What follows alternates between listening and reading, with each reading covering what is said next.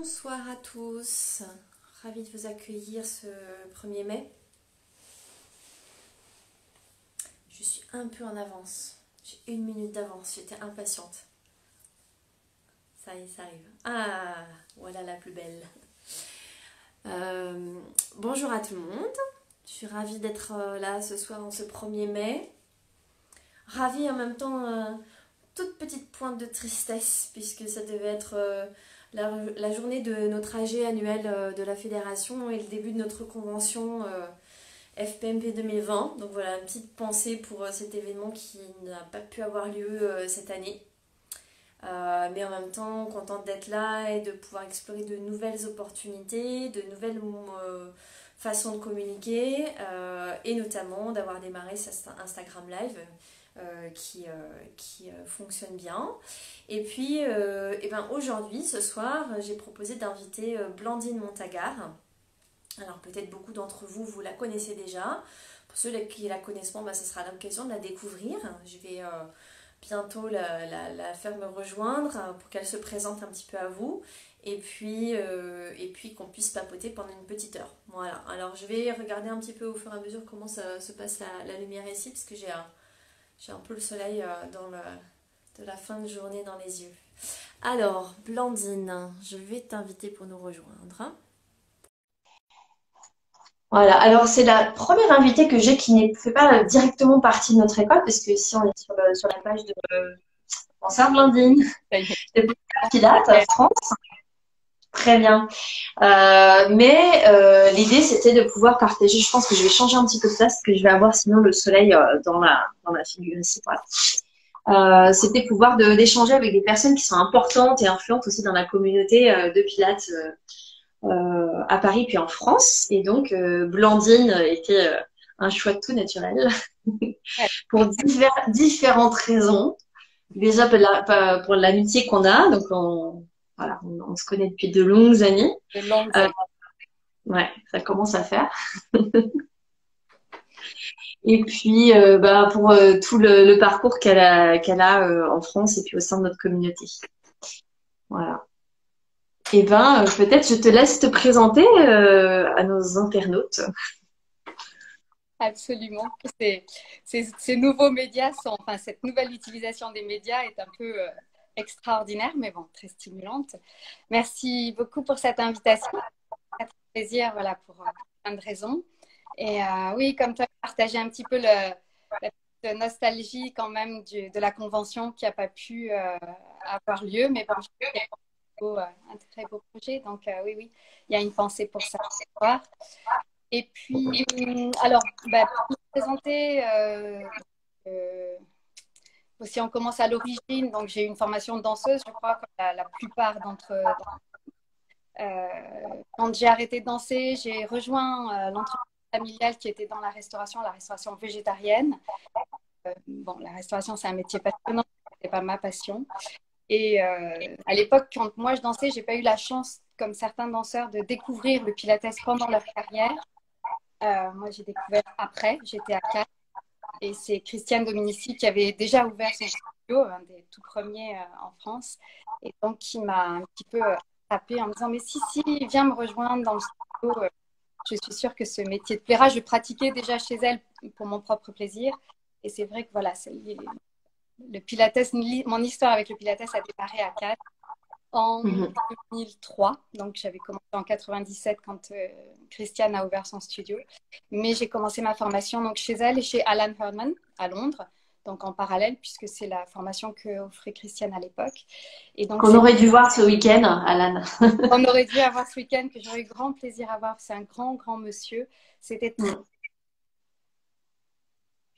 studio une semaine par mois euh, à Londres et c'était vraiment de l'immersion totale à l'époque. La formation euh, reposait pas sur un manuel ou sur... Elle reposait vraiment sur la capacité à absorber, à comprendre, euh, voilà, à développer ses sens pour comprendre le mouvement et assimiler aussi sur soi les exercices. Enfin voilà, ça c'était une expérience tout à fait passionnante. Donc cette première formation. Ensuite, pour des raisons professionnelles, j'ai suivi mon mari qui avait une opportunité euh, voilà, à Paris. Et donc là, c'était un peu euh, l'arrivée en, 2004, il y avait à Paris trois studios depuis la. Mhm. C'était très, c'était très rapide. Donc j'ai rejoint Element. Voilà, donc là, je crois qu'il y a une, c'était à l'époque une grosse pépinière et donc euh, des nombreux professeurs. Oui, beaucoup de professeurs euh, actuels un peu importants sur Paris sont passés par là en fait. voilà, oui, oui, oui. C'était assez. Euh, là aussi, je m'arrête un instant parce que c'était une période assez extraordinaire où beaucoup de professeurs étrangers étaient. Il n'y avait pas de professeurs français, très peu. Enfin, une de mes premières qualités, c'était de parler français. C'est pour ça, je pense que j'avais été embauchée chez Element.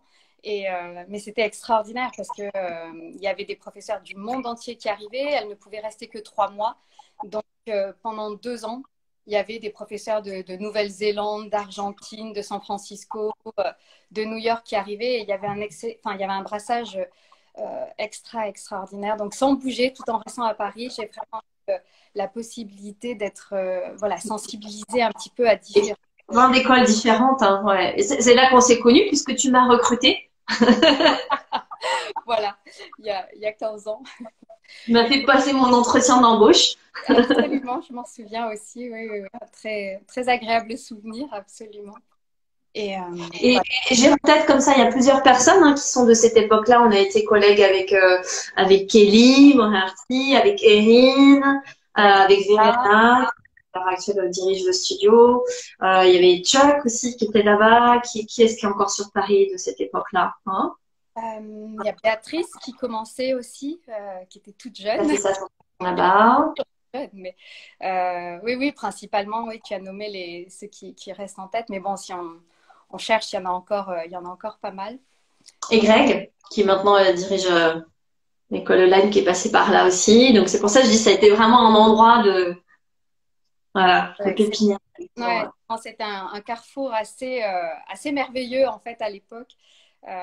voilà, en tout cas pour moi qui rentrais dans cet univers euh, qui était tout nouveau, qui était, bon, euh, après la danse, qui était totalement inespéré. Donc, euh, Alors, quelqu'un qui dit moi, moi, moi, mais c'est qui Black Tippy? Je ne sais pas qui c'est. Pascaline. Pascaline, mais oui, Pascaline. Il y a Andrea qui est dans le coin aussi, voilà. Antoine qui, était, qui a commencé comme élève en effet chez Élément et qui a démarré sa passion aussi. Voilà, qui a découvert, ah oui, qui a découvert sa, sa passion chez Élément puis qui est devenu professeur aujourd'hui, qui est un très bon professeur aujourd'hui. Et euh, oui, oui, on ne comptera pas aussi le, nombre d'élèves qui ont découvert le Pilates euh, chez Element et puis après ben, qui ont suivi euh, voilà, leur, leur propre évolution. Donc, absolument, cette période a été très riche.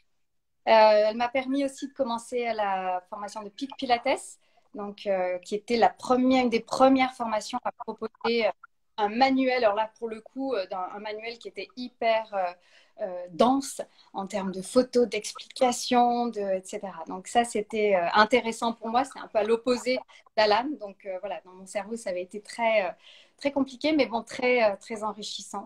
Et puis ensuite, j'ai arrêté l'expérience chez Element. L'équipe Core Body.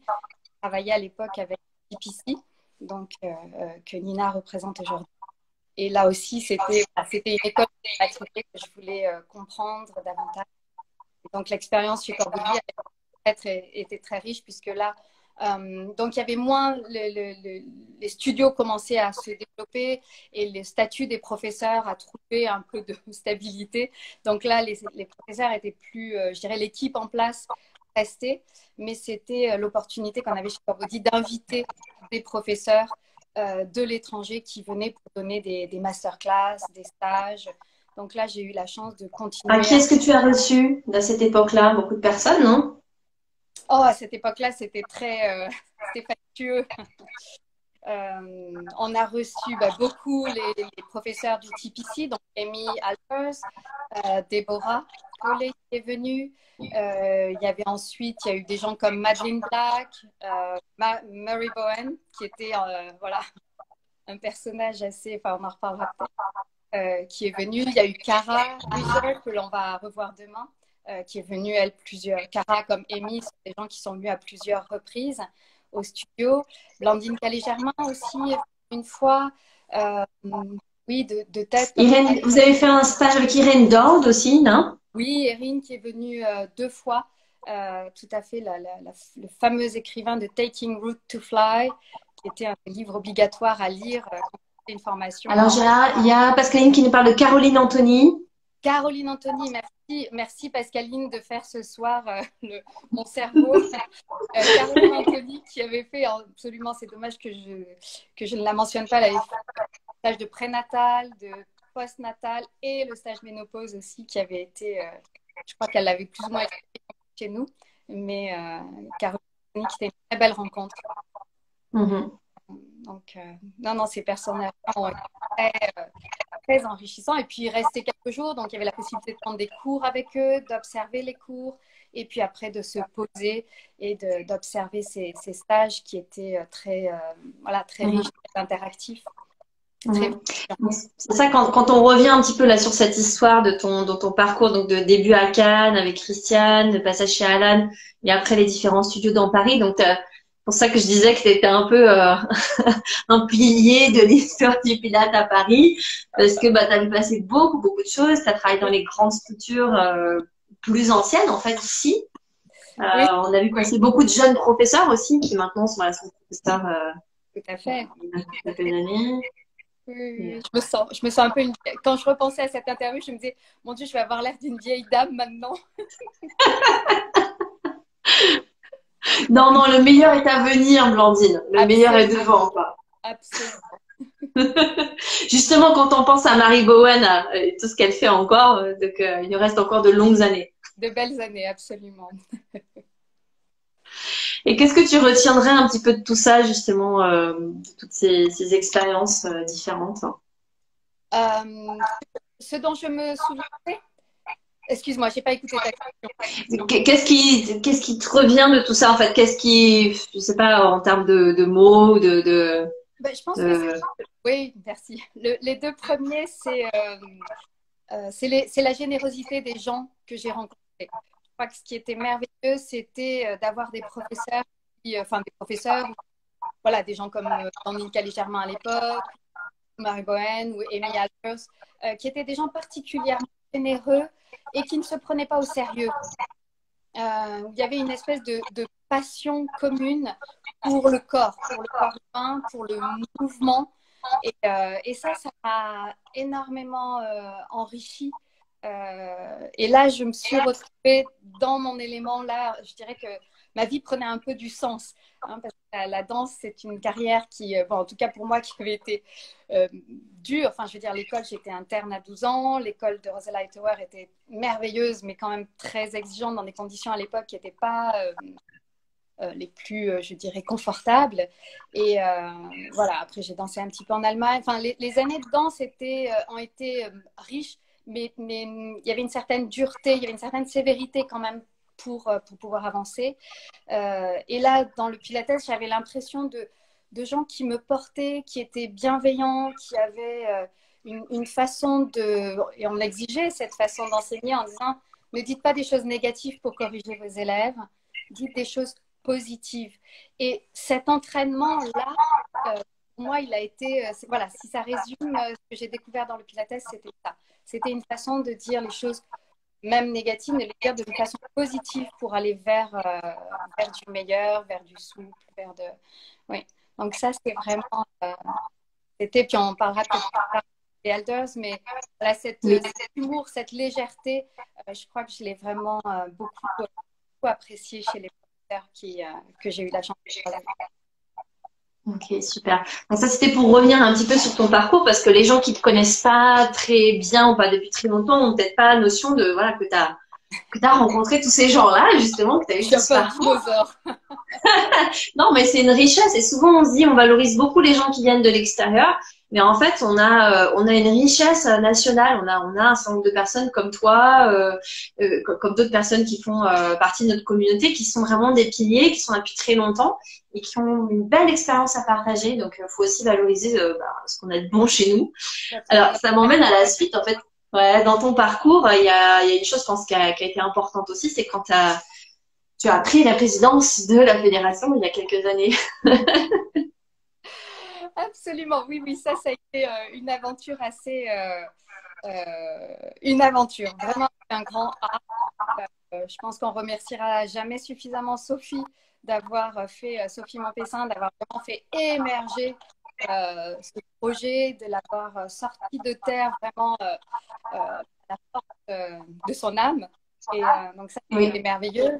on se réunissait à l'époque dans la cuisine chez ses parents. Garde un souvenir assez intense de cette, cette période où on se disait, mais bon, c'est bien, on veut faire des choses, mais ça va se passer comment? Qu'est-ce que. Enfin, voilà, on était un petit peu perdus. Euh, Laurence, qui avait pas, de la danse, avait un, esprit un petit peu plus euh, carré et un petit peu plus pragmatique. Donc, c'est vrai qu'elle a aussi été à l'époque une aide précieuse. Euh, et, puis, et puis voilà, les, les, années se sont succédées. Sophie s'est un petit peu épuisée, puis elle est partie sur d'autres projets. Ce qui fait que quand en effet j'ai pris la présidence de la FPMP, le, le, projet était sorti de terre, mais il était un peu, voilà, il, voguait, on n'avait plus trop de direction, on n'avait pas, c'était encore, je pense, un peu à un stade euh, familial, amical. Euh, oui. Et quand j'ai pris la présidence, il y avait, il y avait deux alternatives en fait. Ou la FPMP allait rentrer dans le mur, et c'était dommage parce que le plus dur a été fait. Ou alors, il fallait avoir l'ambition de grossir véritablement et surtout de se professionnaliser. Et je pense que c'est ce qu'on a, ce qu'on a réussi, c'est ce qu'on a essayé de, enfin, en tout cas, au début, essayer de faire. Et puis, je suis vraiment heureuse aujourd'hui de, de, voir le développement de la, de la, FPMP. Donc, euh, non, non, il y, a de, il y a de beaux souvenirs. Je crois que, voilà, les, les, la des âgés, c'est vraiment ce qui me, ce qui m'a le plus euh, satisfait. C'était des journées qui étaient très lourdes euh, à mettre sur pied. Voilà, un grand, grand merci à Bogena. On ne lui dira jamais suffisamment euh, parce qu'il y avait tout l'aspect administratif qui est super lourd. Je veux dire, il faut vraiment que le nombre de personnes corresponde à cette fameuse liste.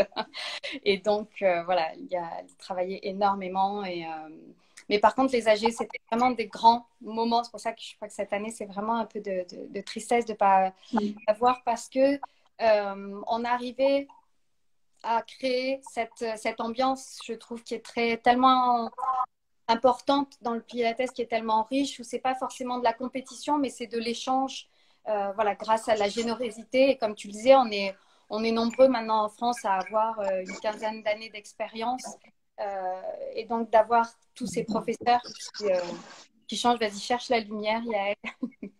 oui, parce que j'ai le soleil en pleine, figure, je ne vois plus rien. voilà, c'est mieux.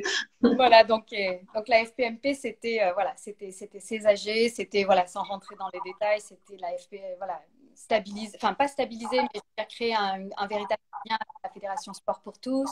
Enfin, voilà, il y a eu quelques gros dossiers comme ça qu'il fallait structurer de profond pour que euh, voilà et on, trouve un rythme de croisière qu'on a fini par trouver et euh, voilà et je suis ravie aujourd'hui que ce soit toi qui aies pris la, la suite alors en préparant ça je me disais mais c'est vrai que et Yael elle a donné la, dimension euh, internationale à la FMP donc je trouve que c'est formidable de voir que l'évolution se poursuit. De grandir, ouais. Et la, la mm. convention, c'était, voilà, ça marquait vraiment cette dimension internationale on est tout à fait euh, capable d'avoir. Je crois que quand on regarde le PMA, on ne le regarde pas comme quelque chose qu'on veut appliquer chez nous, mais comme une référence, quelque chose qui marche, quelque chose qui est inspirant. Et je pense que la FPMP, euh, avec toutes les, les, compétences qu'on a développées, euh, a tout à fait sa place au niveau international pour être une, une association de référence pour les professeurs de Pilates. Donc, bravo. Ouais, et je pense que dans cette période de, de crise, euh, ce que j'ai observé, ce qui m'a, ce qui me touche hein, même beaucoup, c'est que la communauté est assez, euh, assez euh, solidaire, assez euh, dans l'échange, dans le partage. Ouais. Et, euh, et ça, c'est très chouette. Et je pense que, que, justement, ça prouve à quel point on a, ça s'est, ça s'est stabilisé, ça a grandi, et à quel point ben, c'est important d'avoir un organisme comme la FNP pour, pour essayer de de d'agréger les personnes, enfin, toi, de, Tout à fait. d'avoir un lieu ou une, une, entité qui aide à créer cette, cette, sensation de communauté. Tout à fait. Non, non, ça, c'est indispensable. Enfin, une fois, une des remarques que j'avais entendues euh, de quelqu'un qui représentait une institution, euh, et il quand il qualifiait l'intérêt de, de, la FPMP, il me disait, mais c'est, vous êtes crédible parce que euh, c'est une association, vous vous reconnaissez entre pairs. entre professionnels. Et je pense que quand on est dedans, on ne se rend pas véritablement compte euh, de cette valeur. Et euh, je crois que. Enfin, moi, ça m'avait énormément touchée parce que je m'étais dit, mais oui, notre crédibilité, elle est là parce que nous sommes une association de professeurs, de professionnels, véritablement. Et, et, et c'est notre, c'est notre. Enfin, on est crédible à l'extérieur parce que ce sont ces professeurs-là qui s'accordent sur des, euh, des principes. Donc, il faut, il faut rester unis, il faut rester fort. Et puis là, on l'a vu pour traverser en effet cette période qui est euh, inédite. Euh, la communauté s'est serré les coudes et en tout cas se soutient. Mm. non, non, c'est formidable. C'est une, c'est une belle expérience et voilà, il faut longue vie à la FPR, il le faut. Et oui, oui, oui. Alors justement, ce qui est intéressant dans ton parcours, c'est que euh, de ton début dans, dans le Pilate euh, en France et toute cette évolution jusqu'à la jusqu'à ta présidence et puis maintenant, même on va parler d'un autre projet que tu as, as, mené à bien euh, ces, ces, derniers temps, euh, ça ça prouve, enfin moi pour moi j'ai l'impression que c'était un, un peu comme un témoin, alors toi et puis d'autres personnes, mais tu vois de justement d'observer comment l'évolution du Pilates s'est fait en France, qui était quelque chose de plus artisanal, plus familial, moins connu, puis petit à petit ça s'est professionnalisé, ça s'est mhm. ça s'est euh, mis en relation avec d'autres administrations, etc., etc. Donc je pense que ton parcours il reflète totalement ça, on, on voit bien cette évolution. Euh, Ouais. Et, et notamment, euh, alors c'est en plus c'était pendant ta, ton, ta dernière année de présidence, je crois, tu as mené en même temps de front un autre projet qui, est, qui était aussi super. Alors on avait déjà d'autres, euh, on avait un autre, euh, donc tu as, tu as mené à bien, je l'ai sorti, dans ma petit, mon petit livre de, de Blandine, l'encyclopédie du Pilates, voilà, euh, que la plupart des personnes le connaissent déjà, elle apprécie. alors on avait déjà un livre en, français, c'était le livre de Martine Curtis Hawk, mais qui est anglophone. Donc, je pense qu'elle avait été écrit en anglais et traduit. Donc, en tant que tel, c'est vraiment le premier livre de Pilates écrit en français. Je pense que Martine l'avait écrit en, je pense que Martine l'avait écrit en, français euh, au départ. Mais, euh, mais voilà, en tout cas, il visait voilà une, une population. Il avait une, il était plus petit en tout cas que le, le projet qu'on m'a soumis. Et, euh, alors raconte-moi un petit peu comment ça s'est fait euh, ce projet de, de livre. Comment c'est né Comment c'est ça s'est fait, je crois, ah, que chose très importante de la vie, ça s'est fait d'une façon tout à fait euh, anodine, euh, quasi insignifiante. Enfin, sur le moment, quand c'est arrivé, je n'en ai pas pris la, la, dimension tout de suite. je travaille aujourd'hui en partie, enfin, jours par semaine au Tigre Yoga Club. Euh, donc avec euh, c'est Elodie Garamond qui a fondé ces centres. Et elle venait de terminer un livre sur le yoga pour les enfants. Et donc voilà juste en, en la elle me dit ah, tiens Blandine mon éditrice euh, cherche un professeur de pilates. Elle est intéressée à écrire un livre sur le pilates. Est-ce que ça t'intéresse? Et j'ai dit ah oui bien sûr pourquoi pas. J'étais j'étais moi dans une dynamique à l'époque euh, avec la FPMP où c'était Bon, j'enseignais bien sûr, hein, puisque ça, j'ai jamais arrêté d'enseigner. Mais la FPMP, c'était très administratif, c'était euh, très euh, stratégique, politique, même par certains aspects. Donc, ça demandait, une certaine énergie. Et, et, je me disais, bon, j'avais eu la chance quelques années auparavant de travailler dans la formation. Et la formation, ça oblige à travailler le cerveau d'une certaine façon. Ça me manquait un petit peu. Donc, j'ai dit d'écrire le livre ça va me permettre de, voilà, de me replonger vraiment dans le sens du Pilates, dans le pourquoi du mouvement, dans voilà, qu'est-ce que c'est cette, méthode en fait et qu'est-ce qu'elle représente pour moi. Donc je l'ai pris au départ comme un travail d'introspection, l'opportunité de euh, voilà, d'équilibrer un peu ce que je faisais pour la FPMP, qui était pour les professeurs de Pilates, mais qui n'avait rien à voir avec euh, le Pilates que j'enseignais au quotidien. Et euh, donc j'ai accepté, accepté le projet. Euh, voilà, pour faire court, j'ai rapidement rencontré euh, Raphaël Vidaline, qui elle est euh, écrivain professionnel et donc qui, voilà, qui manie très bien l'écriture, qui était très pragmatique aussi pour organiser notre, notre travail. Et ça a été un grand plaisir de travailler avec, avec elle. Elle connaissait absolument rien au Pilates, donc c'était intéressant quand j'écrivais quelque chose où elle me disait mais mais qu'est-ce, que ça veut dire? Qu'est-ce que tu veux dire par là? Donc voilà, de ça m'obligeait à reformuler ou à être un petit peu plus précise sur ce que je, voulais dire. Donc ça nous a pris beaucoup de mois.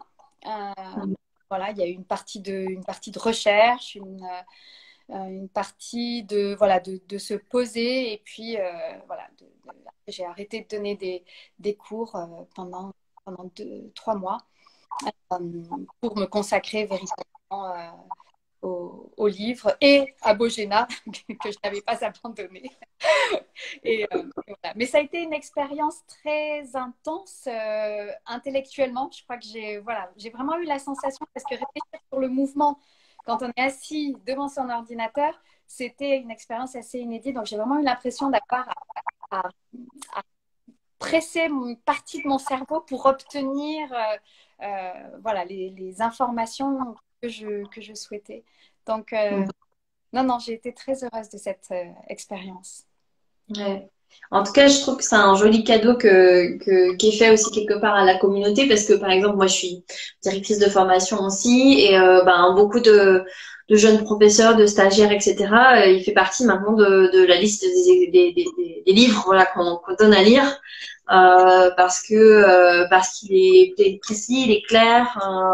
Mm il est simple de, de, de, de, manipulation, je trouve.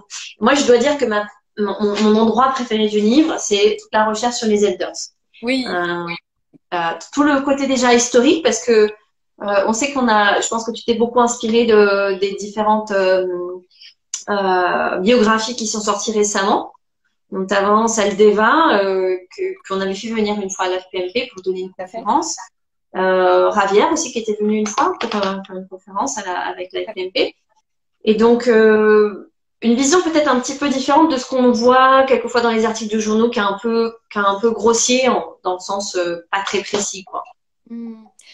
Oui, je, pense que c'était, pour moi, c'était important qu'il y ait une biographie en français, parce qu'en effet, on s'est beaucoup, on s'est, inspiré avec Raphaël, bien sûr, de la biographie de, de Rink et de Mais il n'y avait pas, tous les deux n'ont aucun projet d'avoir leur ouvrage traduit en français.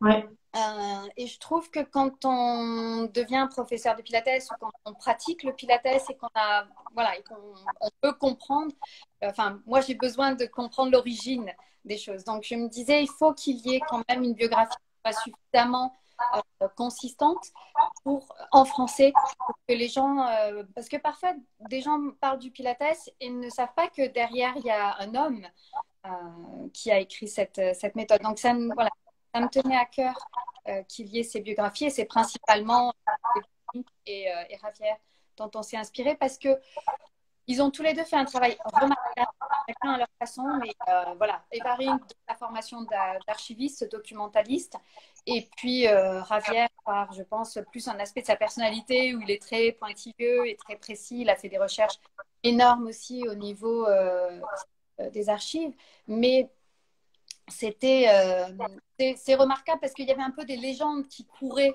comme ça et que moi-même j'ai transmises à une époque parce que il euh, faut, faut, dire quand même que le Pilates, c'est beaucoup euh, une tradition orale. Euh, et il y avait par exemple cette chose de penser que Clara était infirmière, alors qu'elle n'a jamais été infirmière et que tous les deux disent bien que quand elle a émigré aux États-Unis, il n'y avait pas marqué infirmière sur sa carte d'immigrante. Donc, voilà. Comme le fait qu'ils n'ont jamais été mariés d'ailleurs. Comme le fait qu'ils n'ont jamais été mariés. Oui, oui, tout à fait. Et si on n'a pas la chance, si jamais j'oubliais qu'on ce soir et qu'on n'ait pas l'opportunité de reparler de, Clara Pilates, c'est ma seule, mon seul regret euh, au niveau des, biographies de ne pas avoir eu le temps, mais non plus, euh, je dirais, je n'ai pas perçu de matériel sur lequel on aurait pu faire des recherches pour avoir plus d'informations sur, euh, cette Clara qui, sans qui il n'y aurait jamais eu de, de Joseph Pilates. Donc c'est un peu, voilà, de temps en temps, elle était discrète peut-être, ouais. Elle a été très discrète, elle a vraiment été euh, ce, pilier derrière l'homme. Je vais rechanger de, coin. J'ai du mal avec le soleil ce soir. Hein. Me revoilà. On ne peut pas d'avoir le soleil. oui, et, moi souvent j'ai entendu parler de Clara, mais par des elders ou par des de gens de seconde génération comme Cara ou autres qui ont eux étudiaient avec Cassie Grant ou d'autres personnes et qui disaient ah Clara faisait ceci ou Clara disait cela, mais on n'a rien d'écrit effectivement en fait. C'est beaucoup une tradition orale. Euh, et c'est et c'est dommage. Mais bon, voilà, c'était voilà, je voulais avoir une petite pensée donc pour, pour cette femme certainement exceptionnelle. Et voilà. Et puis c'était important après pour moi de faire une petite biographie, donc plus, test, mais euh, sur chacun des elders, parce que euh, je crois que le pilates que nous pratiquons tous aujourd'hui, euh, il est issu de ces hommes et de ces femmes qui ont transmis la, la, méthode. Donc, j'avais eu la chance, grâce à, l'époque où je travaillais chez Corbody, donc de rencontrer des, bah, Deborah Collet qui faisait référence à Eve Gentry, Amy Alpers qui faisait référence à Romana, euh, il y avait eu Cara qui nous avait beaucoup parlé de, de Grant. Donc c'était euh, c'était important pour moi voilà j'avais accès à quelques personnes qui étaient en qui avaient un liage direct avec euh, ces elders et donc de pouvoir les questionner surtout de pouvoir faire vérifier la biographie qu'avec Raphaël nous avions rédigée. Elle avait fait aussi des recherches de son côté. Et euh, voilà, donc il y, avait, il y avait une biographie et c'était important. Donc il y a beaucoup, beaucoup de personnes ont eu la gentillesse de. Voilà, Philippe Topin avait aussi euh, jeté un œil, euh, Katia Amouche avait regardé donc, pour Lolita San Miguel. Voilà, plusieurs personnes ont fait un rôle puisque voilà, de soumettre à différentes gens de la lignée. Ouais. Voilà. Et je, justement, je pensais à Lolita et je, et je me rappelais qu'elle était avec nous il y a un an. Voilà. Lors du CA de la GEE, absolument. Ouais, ça avait été un moment assez incroyable. Oui, mm. ouais, je crois que c'est des, des, gens qui sont assez euh, exceptionnels. Et enfin, pour moi, c'est important de les rencontrer physiquement, de les voir. C'est un petit peu comme si j'avais besoin que ma rétine imprime euh, la façon dont ces gens bougent, ce qu'ils dégagent comme énergie, ce qu'ils. Euh, voilà, la façon dont ils évoluent en quelque sorte dans la, dans la vie, même si on les croise juste sur une heure ou deux, mais de pouvoir, euh, de pouvoir les observer, euh, je trouve ça assez extraordinaire parce qu'ils ont dédié leur vie au mouvement. Euh, voilà, et il y, y a, quelque chose de, de, particulier quand on les rencontre. Moi, j'ai une petite anecdote avec Lolita. Elle était, bah, donc je l'ai revue l'année dernière à l'AG de, de la FPMP. Il y a Katia ici qui travaille dans, dans la lignée, Lolita donc qui est constamment en, contact avec elle. Mais en fait, j'avais rencontré la Lolita euh, la première fois, je pense en 2001. Euh, donc ça me rajeunit pas non plus, tu vois. Moi, j'ai fait ma formation euh, avec Polestar en 2000 euh, avec Brent Anderson au Brésil, à Salvador. Enfin, non, ma formation était à Rio et à São Paulo, mais voilà, je me, je me déplaçais souvent à Salvador. Et, euh, et, en fait, ils avaient fait venir en 2001, j'étais toute jeune prof, 2001 ou 2002, Lolita. Et donc, j'avais fait une masterclass, quelques cours avec, euh, avec Lolita. Et, euh, et j'étais hébergée chez une des personnes qui, qui Alice, qui l'emmenait un peu partout. Et donc, je me suis retrouvée dans la voiture à devoir aller accompagner Lolita à, l'aéroport et donc rester un petit peu avec elle. Et elle m'a dit un truc. En fait, tu sais, il y a des phrases qui t'accompagnent toute ta vie, en fait. Hmm qui sont peut-être pas euh, extraordinaires, mais qui, qui te touchent à un moment donné et qui t'accompagnent toute ta vie. Et elle m'a demandé, moi, toute jeune prof, je devais avoir euh, voilà 23 ans et je venais de commencer, et elle m'a dit, euh, mais qu'est-ce que tu veux faire avec le pilate dans ta vie? C'est quand même une grande question. et j'étais là, ah bah, en fait, euh, alors tu penses à mille trucs, mais en même temps, rien de bien intelligent à dire sur le moment, tu vois. et, ça t'accompagne. Et je pense que c'est certainement une question qui m'accompagne encore. Mais, je pense que, tu soulèves une question qui est très, euh, qui est très importante. Euh, pourquoi, je, pourquoi je suis professeur de Pilates Qu'est-ce que ça qu'est-ce que ça apporte? Je pense que Amy Alpers aussi était arrivée avec euh, une année avec cette, cette question-là de dire mais et vous devez répondre quelle est votre mission sur Terre? Qu'est-ce que à quoi euh, correspond le fait d'être d'être professeur de Pilates Et elle avait eu cette très belle euh, réponse. Elle disait moi c'est c'est pour participer à la paix dans le monde. Et je trouvais que c'était, j'avais trouvé ça beau. parce que oui, à chacun à notre niveau, euh, on arrive à, faire que les gens se sentent mieux ou en tout cas euh, arrive à mieux respirer, à sourire plus facilement, au moins en sortant de cours. Ah, c'est un moment un peu toujours euh, rigolo quand je commence les, formations de Polestar. Euh, on, pose un peu les, bénéfices de la méthode, la mission de notre école, etc. Et je perçois certaines personnes qui, pas qui ricanent un peu, qui me disent, mais ils, ont fumé quoi? C'est pas possible. Parce qu'on parle de confiance en soi, de rajeunissement mental, mm. et la, mission de l'école, c'est euh, euh, rendre un monde meilleur, avoir un impact positif sur le monde au travers du mouvement, etc. Et tu te dis, c'est super pompeux. Et en fait, après 20 ans de pratique, tu te dis, ben si, en fait, c'est quand même ça que je fais. En tout cas, c'est ça que j'essaye de faire. Bien sûr. Et ça m'a un petit peu mis avec euh, la paix dans le monde, en fait. Tout à fait, oui, oui. Non, non c'est, c'est, je pense que c'est important, quelque part, de l'avoir aussi euh, dans, dans l'arrière de la tête quand, euh, quand on doute, quand on est fatigué, quand on... Ça, c'est, c'est important. Mais dans les, dans les témoignages comme ça aussi, il y avait... quand Marie Bohen était venue, donc elle avait, déjà, elle avait plus de 90 ans hein, quand elle, elle était venue chez Corbody. Et bon, son stage, puisqu'elle elle étudiait Jung à l'époque, hein, le, la correspondance entre le Pilates et, l'approche de l'analyse. Analyse, tout à fait. Bon, le stage que tu avais suivi aussi, je crois, euh, pas, le contenu n'était pas spécialement euh, pertinent. Je pense qu'elle avait ses. Ah, bah, ceux qui voulaient faire des centaines, c'était raté. Hein. voilà. Euh, puis même au niveau de la psychanalyse, je pense que c'était pas tout à fait. Enfin bon, c'était pas les plus, les propos les plus récents, les plus euh, pertinents, on va dire.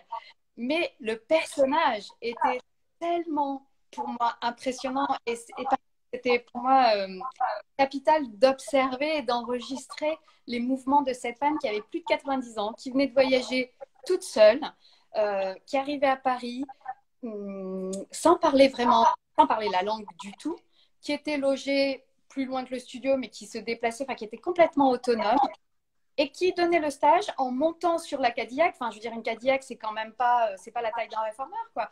Et hop, hop, hop, qui montait sur une Cadillac, qui s'asseyait sur le ballon sur la Cadillac, et avec ses lanières, qui nous expliquait comment, il fallait décomprimer la colonne vertébrale et combien c'était important. Et c'est vrai qu'à plus de 90 ans, elle avait une posture euh, impeccable et euh, voilà, et une capacité, quelque part, une capacité d'adaptation qui m'avait époustouflée. Donc voilà, ça c'est bon, un peu extrême, mais c'est vrai que c'est un des stages qui m'a marqué dans le sens où je me suis dit, bon, j'ai, pas appris grand chose, il n'y a rien eu de vraiment pertinent, mais bon, elle me pardonnera si elle me, m'entend un jour.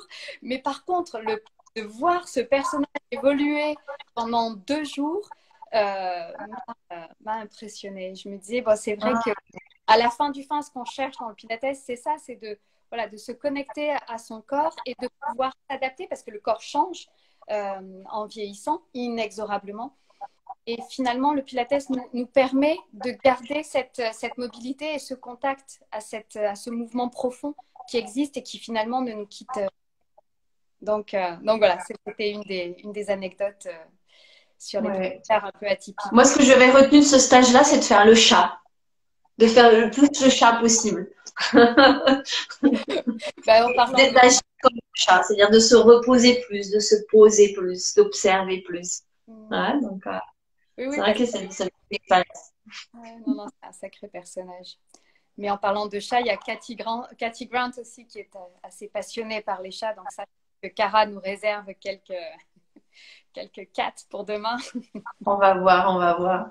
et, euh, et euh, je crois qu'il n'y a pas longtemps, tu as refait des spécialisations aussi. Tu es, toujours en train de faire de la formation et tout ça Oui, oui, oui, ça j'aime. C'est un peu. Euh, la dernière, ben, la dernière formation que j'ai faite, je crois que c'est justement avec Cara, plusieurs qui avait donné un. Comment elle appelle Heritage Training de, de Cathy Grant. Donc, elle avait donné euh, au studio de Patrice et Antoine euh, Zabolone à Nantes.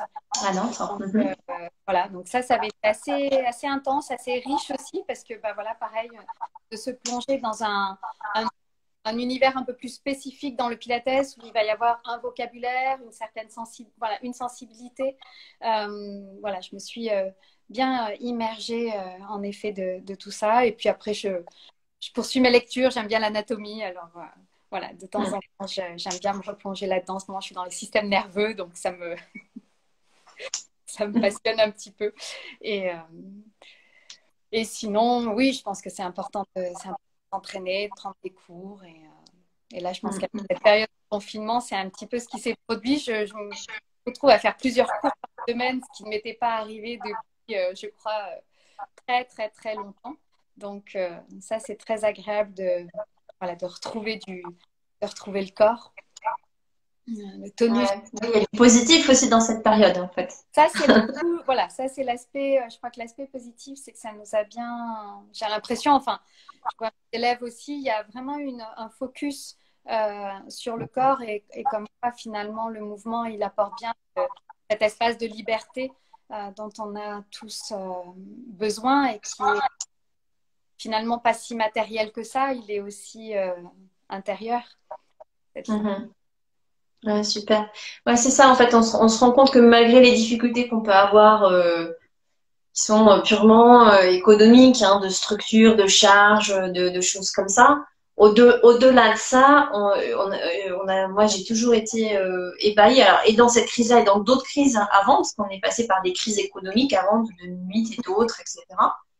De se rendre compte à quel point le travail sur le corps était toujours important pour tout le monde. Hein. Et au contraire, presque on a une recrudescence de gens qui veulent euh, euh, prendre des cours, se faire du bien, travailler leur respiration, euh, se détendre, euh, rester en forme, rester, rester dans une certaine conscience de soi, dans un certain contrôle aussi en fait. Tout à fait. Euh, donc on a une, on a finalement une, une profession euh, qui n'est pas de première nécessité, mais euh, ça se défend, ça se défend. Non, non, non, mais en tout cas, on ne peut pas éliminer les, les, les, soucis que l'on a tous, chacun à, notre niveau, mais juste de prendre conscience que voilà, le fait de travailler sur son propre corps, ça aide quand même à remettre les choses un petit peu à leur place et en tout cas à gérer ce fameux euh, stress euh, que les systèmes nerveux, euh, que le système parasympathique n'a pas toujours à, à, faire, à faire descendre. Et, c'est vrai que par contre, la pratique sportive, elle permet véritablement, enfin, l'activité physique, je devrais dire, elle nous permet voilà, de retrouver cette, cet équilibre et qui nous permet de mieux voir les choses et de prendre les décisions les plus, euh, les plus rationnelles en tout cas. Donc, euh, non, on a de, on a de la chance d'avoir et d'avoir du Zoom. oui, c'est ça. On, on, a pris possession. Euh, moi, je veux dire que j'étais un peu en retard aussi de tout ce qui était digital. Je, me disais, il faudrait que je m'y mette, il faudrait que je m'y mette. Et puis, j'étais à chaque fois, je, je repoussais. Bon, bah là, on était obligé hein, de faire un grand, un grand plongeon. Euh, et donc l'idée, c'était euh, bah, de, pouvoir le maintenir après sur la durée, hein, peut-être pas avec autant de, de, régularité, mais de, garder cette, euh, cette façon d'être en contact aussi. Mm. Et de faire circuler l'information. Oui, tout à fait. Mais moi, j'ai trouvé cet outil, je dois l'avouer, beaucoup plus performant que je, que je l'avais imaginé. J'avais vraiment sous-estimer euh, et l'efficacité et le plaisir que je prendrais euh, à enseigner sur Zoom. Et, euh, et finalement, donc, je n'avais pas spécialement encouragé mes élèves à faire les cours. j'ai vraiment été au début très, très naze avec, avec Zoom. Et puis, petit à petit, en fait, voilà, ça, s'est fait. Et puis, je, me disais, mais mais, mais ils progressent quand même. Enfin, il y a, des choses qui se font et qui sont voilà, totalement donc, il y a, y a, quand même, euh, j'avoue que j'ai du plaisir quand même maintenant à aller sur mon ordinateur et j'ai pas l'appréhension ou le, manque d'envie euh, qui pouvait m'habiter au début. Donc, c'est vrai que c'est une expérience. En tout cas, c'est un outil aujourd'hui euh, dont on prend. voilà, je suis pas la seule à faire cette expérience. Donc, je crois que cet outil va être va continuer dans le temps. En tout cas, je pense qu'on va continuer de l'utiliser parce que parce qu'il a des avantages. C'est ça. Bah, tu vois, d'avoir cette conversation ce soir, de passer du temps à, à, discuter un peu plus en détail euh, de ton parcours que peut-être les gens connaissaient pas. Euh, moi, j'ai donné des cours où je me retrouve avec des gens qui sont euh, soit loin, en province, peut-être même dans un autre pays. Tout à fait. Ouais, donc euh, c'est très chouette. Et moi-même, je, je, suis beaucoup de cours de, de, plein de pays différents en ce moment. D'ailleurs, j'ai un peu du mal avec, avec les, les, décalages horaires. Et des fois, je me plante un peu de time zone. Mais euh, au-delà de ça, ça va. Oui, non, non. Donc, ça nous oblige à être, euh, à être, euh, voilà, à être plus attentifs. Alors, je voulais rebondir, revenir en arrière. On a encore un petit peu de temps sur, sur un petit détail parce que peut-être que pour certains qui écoutent, c'était clair, mais pour d'autres, euh, ils sont un peu moins euh, euh, familiers avec cette notion, cette notion de lignée dans le, dans le Pilate. Tu en as parlé un petit peu avec les elders. Est-ce que tu veux un, peu nous parler de cette idée des lignées? C'est quelque chose sur lequel on travaille beaucoup à la fédération aussi. Oui. Oui, oui, avec, avec plaisir. c'est vrai que ce qui définit, ça a été une grande question à la FPMP de, de se dire qu'est-ce que qu'est-ce qui va caractériser le, parcours d'un professeur euh, de Pilates et euh, je dirais un parcours sur le corps, sur le bien-être, sur euh, voilà, qu'est-ce que c'est qui va être spécifique au Pilates? on le sait tous au, niveau du mouvement, si on commence à être tatillon, on ne peut pas être juste sur un répertoire de mouvement ou un répertoire d'exercice ça n'est pas suffisant pour caractériser le Pilates. Je pense euh, que le lignage, en fait, de avec qui on a appris, avec qui on a pris cours, qui nous a touché, qui nous a corrigé euh, dans le corps, je pense que c'est là où on est façonné en tant que professeur de Pilates. Euh, quand on nous a appris à observer, à regarder, à toucher, euh, c'est là où euh, la caractéristique spécifique du Pilates apparaît. Donc cette notion de lignage, pour moi, elle est capitale parce que il y a une information qui est transmise. Et c'est pour ça que j'étais contente dans le l'éditrice me laisse carte blanche sur la présentation des elders. Il y en a d'autres, hein. il y a certainement des gens qu'on voilà, moins et, qui, ont, voilà, qui ont apporté aussi à la méthode, mais en tout cas, j'ai voulu reprendre ceux des, du PMA et, dont j'avais euh, eu la deuxième génération, euh, j'étais en contact avec la génération, parce que euh, c'est ce, ce lignage-là, quand on le remonte, qui permet de dire c'est cette sensibilité-là qui a été exploitée et c'est sur cette, cet objectif-là que l'on, que l'on va. On va pas juste sur du bien-être, on va pas juste sur la dernière euh, méthode à la mode. Euh, bien sûr que c'est important de garder la et de s'inspirer de ce qui se dit, de ce qui se fait, de voilà des choses qui émergent, bien sûr, mais d'avoir une formation avec un lignage spécifique euh, qui peut se, qui peut se tracer, je crois que ça, c'est capital. Parce que je le disais, il y a une tradition orale. Hein, on a peu de livres en France, en français, mais il y a aussi pas tant de bouquins que ça. Euh, aux États-Unis, Joseph Pilates, il en a écrit deux. Il a fait des vidéos, il a fait des, photos, mais on a, c'est somme toute un matériel qui est très euh, réduit euh, comme matériel pédagogique. Donc c'est surtout une tradition orale, une tradition de ressenti qui s'est transmise. Et donc ces élèves, ces professeurs-là l'ont fait avec beaucoup de beaucoup de sérieux. Hein, parler de leur, de leur humour et de, voilà, qui, les, qui les a tous caractérisés. Euh, il y a quand même eu une, une façon d'être dédié à euh, ce que Joseph Pilates leur avait enseigné. Lui, c'est l'origine, hein, c'est le génie. Mais je crois qu'il avait suffisamment de. Voilà, je pense qu'il a eu un génie assez euh, extraordinaire. et donc, c'est important. Et cette, cette lignée, enfin voilà, j'espère que ça qu'il a, qu'il a su toucher en fait chacun d'entre eux d'une façon un peu différente et qui nous a permis d'avoir ce, cet éventail de, de sensibilité euh, mm, mm, mm. aujourd'hui. Ouais.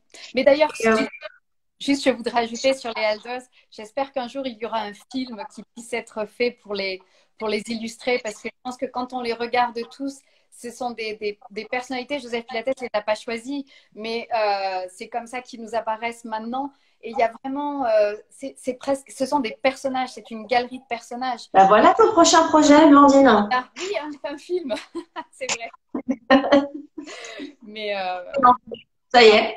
On a Carola Trier qui arrive d'Europe. De, on a euh, Yves Gentry qui a traversé euh, l'épreuve du cancer du sein avec l'ablation euh, du sein. Mhm. Une danseuse, mais qui va récupérer tout de ses, de ses bras, enfin de ses mouvements. Ron Fletcher qui est un danseur gay qui traverse une période d'alcoolisme. Cathy, Cathy, Grant, qui est une femme noire qui veut danser dans les années 30. Quoi. Donc voilà, avec tout ce que ça, impliquée et qui va être une femme, euh, voilà, Cara, une femme rayonnante, enfin, qui n'a eu aucune, aucune, aucune colère, mais au contraire, qui n'a fait que partager des, des choses très, euh, très positives. Donc, euh, Romana aussi, je pense qu'elle a dû être quelqu'un de très, très, de très généreux avec un parcours de vie qui n'était pas, qui n'a pas été simple. Oui. Donc, mhm. Voilà, quand on, les, quand on les regarde tous un peu en détail, je trouve qu'il y a voilà, c'est vraiment des, des Alors, il y, a des films, euh, il y a des petits documentaires qui n'existent pas sur tous, mais sur un certain nombre d'entre eux, sur Peanut Anytime, ils ont fait un travail assez euh, chouette d'archives. Ils ont des petits documentaires sur un certain nombre d'adultes. On mm. voit des photos euh, d'époque, leur histoire de vie. Mais je pense que Cara, justement, a beaucoup travaillé sur ce, sur ce projet de legacy, quelque chose, oui, ou héritage. Oui, qui est très chouette, hein, qui est très chouette. Et effectivement, c'est une autre chose sur laquelle je voulais euh, rebondir, euh, peut-être pour, euh, finir, je regarde quelle heure il est, ça va. c'est que ces dernières années, effectivement, il y a eu tout un travail de, de de, de recherche, d'archivage, de, de, retrouver la mémoire de plein de choses, notamment avec les, les qui sont encore vivants, avec Marie Bowen et avec Lolita Saint-Miguel. Les deux ont eu deux, deux, très belles euh, initiatives. Alors, tu as Marie Bowen qui a, euh, euh, je sais pas comment ça s'appelle, euh, tout un tas de d'archives cinématographiques qui lui appartiennent, qu'on peut retrouver sur son site. Oui, tout à Il y a une époque où elles étaient disponibles gratuitement sur YouTube et ça a été tout enlevé.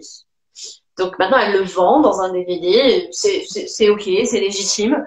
On peut l'acheter. Je ne sais pas combien ça coûte. Ça coûte peut-être 100 dollars. Mais en tout cas, il y a plein de films euh, d'époque et c'est très chouette. Et puis, tu as Lolita Saint-Miguel aussi, qui, euh, avec l'aide de Cathy Corret, je pense, qui, euh, depuis plusieurs années, ils organisent une convention en Allemagne, à Mönchengladbach, qui est la ville de naissance de Joseph. Euh, où ils ont fait installer un buste, euh, où euh, il y a toute une commémoration, etc. Donc je crois que d'ailleurs la convention devait avoir lieu le week-end dernier ou quelque chose comme ça, parce que c'est toujours vers le printemps. Hmm. J'avais fait la première, j'avais eu la chance d'aller voir la, le buste posé.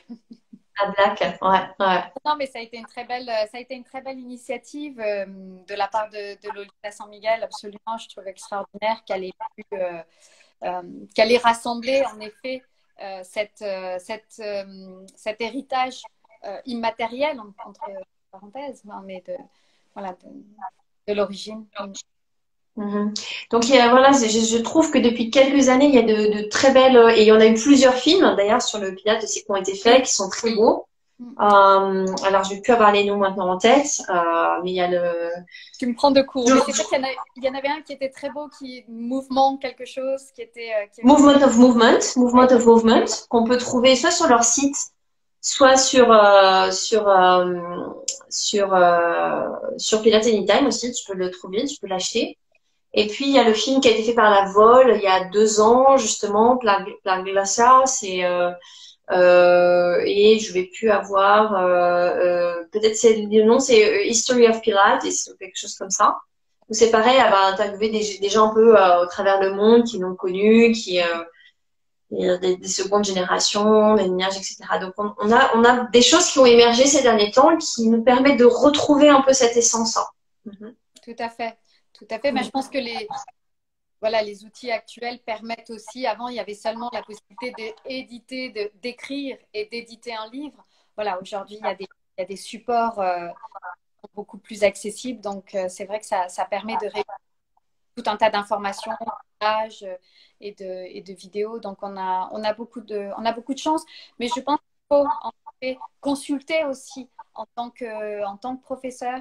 Euh, c'est important de s'inspirer, même si les vidéos de Joseph Pilates, parfois, elles, sont un peu, euh, un peu déroutantes. Il y a, il y a quelque chose euh, de, vivant, de, de, puissant dans, et dans ces images. Et non, non, je pense que c'est un... notre culture. Ouais, c'est ça, oui, c'est très important de, de comprendre d'où on vient, qui on est, etc., pour, pour après pouvoir se projeter dans le futur. Hein. Ça, c'est sûr. Absolument, absolument. J'essaierai de, de mettre peut-être sur la page tous les, toutes les références euh, dont on a parlé ce soir, donc euh, peut-être ton livre, mais aussi les biographies dont on a parlé, les, les, les films, euh, le site de Marie Bowen, etc. Et puis après, pour ceux qui, voilà, qui peuvent lire l'anglais, il y a aussi Cathy euh, Stark, Stark, je sais plus, qui a écrit un livre sur Romana aussi, qui est sorti il n'y a pas longtemps. Et j'avais été en contact avec euh, Cathy pour aussi voilà, qu'elle relise la biographie sur Romana. c'est quelqu'un, je pense, de très très sérieux qui a passé beaucoup de temps et a rédigé cette, cette biographie. Donc ça, c'est Rebecca, en général, qui donne des bons tuyaux. Rebecca qui anime le, forum de Oui, Rebecca, elle est, elle est top là-dessus. Ouais, ouais, ouais. Hmm. Euh, outre le cours tous les mardis à 15h qui est extraordinaire, mais voilà, Rebecca est un petit peu la, la référence euh, littéraire.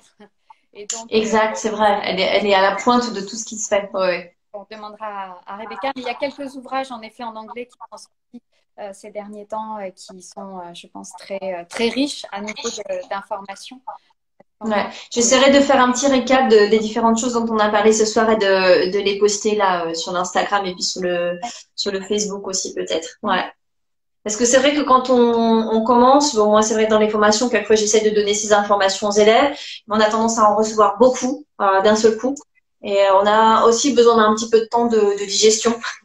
Oui, tout à fait. Puis je pense qu'il y a des périodes dans sa carrière où on est plus attiré par tel personnage ou tel aspect euh, de, de, la méthode. Et je pense que c'est important de, au départ, avoir voilà, toutes sortes de références et puis, à certaines périodes, de pouvoir aller puiser plus dans cette zone-là ou euh, dans ce, auprès de ce personnage-là. Euh, je crois que c'est fait aussi la richesse de notre, de notre métier. Ok, super. Eh ben, merci beaucoup, Blandine. On arrive à, à, la fin de notre heure de, J'espère que ça t'a plu. oui, merci beaucoup. Ça m'a fait très plaisir. Une nouvelle expérience toutes les deux. Ben voilà, c'est ça. Ça c'est coché, c'est fait. Super. Non, mais j'étais ravie de pouvoir euh, partager toutes ces informations euh, avec les gens voilà, qui, qui ont été avec nous ce soir ou qui vont le revoir dans le replay. Euh, et puis, euh, bah, je fais une petite annonce juste avant que ça soit coupé. Euh, la semaine prochaine, je recevrai euh, Leïla, qui est éducatrice. non, pardon. Le, ce sera dans 15 jours. La, semaine prochaine, je vais recevoir Annette Planck, qui est passée ce soir aussi, je crois, nous voir. Elle est éducatrice Polestar à Dortmund, en Allemagne. Elle parle bien français. Elle est souvent venue nous voir. Alors, elle, donnait les formations au départ avec euh, Alexander beaucoup à Paris. Donc, elle a fait partie du, euh, des éducateurs qui ont formé les premiers groupes euh, d'éducateurs, enfin de, de, de, profs Polestar à Paris. Et puis, elle est surtout, elle a fait un cursus d'ostéopathie maintenant. Et donc, elle est ostéopathe et c'est elle qui donne les stages spécialisés en scoliose, etc. Voilà, donc je partagerai cette heure la semaine prochaine avec elle. Bah, en tout cas, bravo Yael, une super formule. Ouais, bah, je pense que c'est très chouette. Moi, ça me fait plaisir aussi de, de faire découvrir un peu euh, ben, voilà, les gens qui, qui sont super riches autour de moi et qu'on n'a pas toujours le temps de, de rentrer dans cette profondeur de, de discussion. Ouais. Merci beaucoup. À bientôt. Et ben, écoute, euh, à demain. On se croisera demain. Et euh, sinon, bon week-end à tout le monde. Et puis, j'espère que ça ça vous a plu et vous pouvez le partager, euh, faire partager avec, à vos collègues qui n'ont pas pu euh, être là avec nous ce soir. C'est disponible pendant 24 heures sur la story. Voilà. Bonne soirée, Blandine. Ciao. Bye.